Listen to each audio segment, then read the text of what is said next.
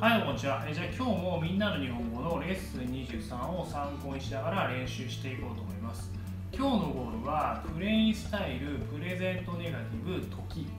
この練習シートは下からダウンロードできるので使ってみてください。エグザンプルである person A and B。I'm gonna read.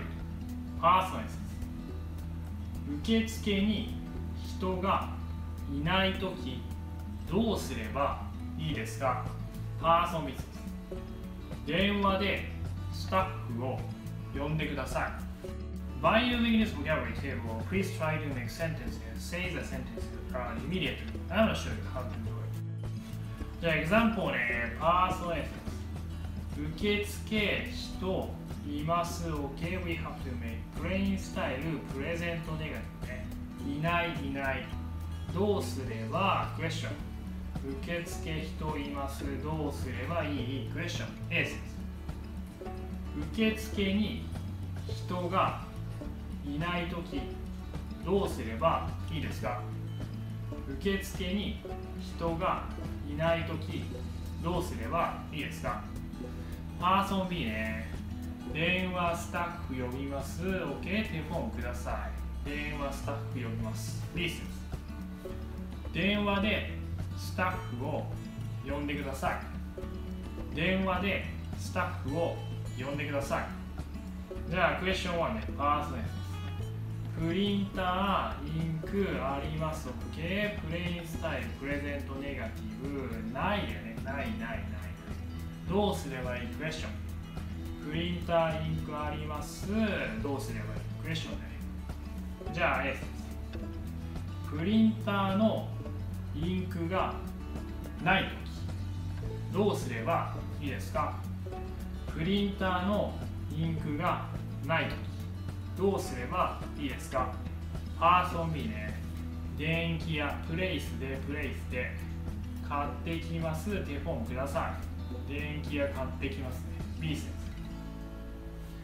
電気屋で買ってきてください。電気屋で買ってきてください。じゃあ、クエスチョン2ね。パーソン S です。スマホ、バッテリーあります。プレインスタイル、プレゼント、ネガティブ、どうすればいい？クエスチョンね。スマホ、バッテリーあります。どうすればいい？じゃあ、A です。スマホのバッテリーがないとき、どうすればいいですか？スマホのバッテリーがないとき、どうすればいいですか？パーソン B ね。えーこのコンセントを充電します。テフォンください。このコンセントを充電します。テフォンください。B です。このコンセントで充電してください。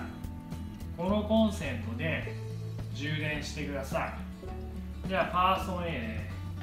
漢字、意味、わかります ?OK? プレインスタイル、プレゼント、ネガティブね。わからない、わからないね。どうすればいい？クエスチョン。漢字、意味、わかります？どうすればいい？クエスチョン。